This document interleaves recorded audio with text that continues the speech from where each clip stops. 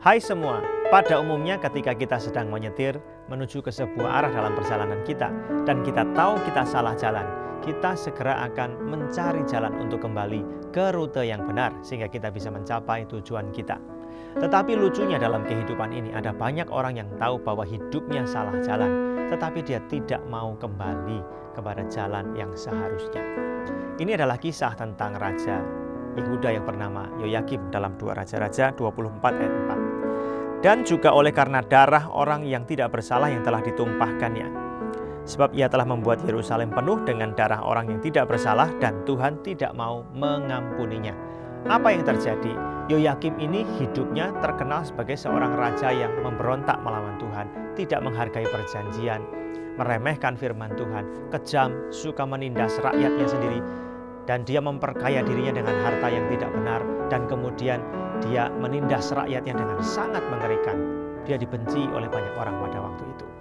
Nah, ketika di puncak kejahatannya ini penghukuman Tuhan akan segera dilaksanakan. Tuhan masih berat melakukannya. Tuhan kirimkan nabi-nabi untuk menegur dia. Salah satunya Nabi Yeremia. Eh, malah Yoyakim mau bunuh sang nabi. Surat yang isinya adalah firman Tuhan yang dituliskan oleh Baruch dibacakan kepada Raja Yoyakim ternyata malah disobek-sobek oleh raja dan dibakar di dalam api. Penghinaan besar terhadap firman Tuhan.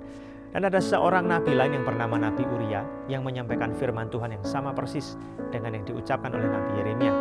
Nabi ini ditangkap dan dibunuh oleh Yoyakim. Padahal nabi-nabi itu adalah utusan Tuhan, baik Uria maupun Yeremia dan nabi-nabi yang lain.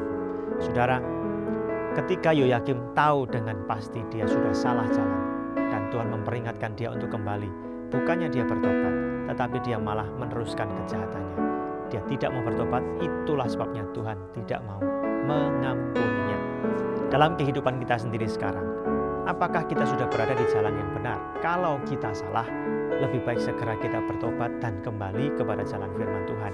Selagi Tuhan bermurah hati dan masih ada kesempatan untuk kembali.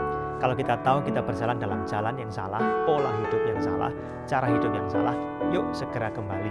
Temukan mentor atau pembimbing rohani, ya, atau pemimpin-pemimpin care kita untuk menolong kita bisa kembali kepada jalan firman Tuhan. Sehingga dengan demikian hidup kita dipulihkan dan hukuman Tuhan tidak menimpa kita. Pertolongan Tuhan, bimbingannya ada membawa kita menjadi manusia yang hidup sesuai dengan firman Tuhan, hidup dalam 出海，拜拜。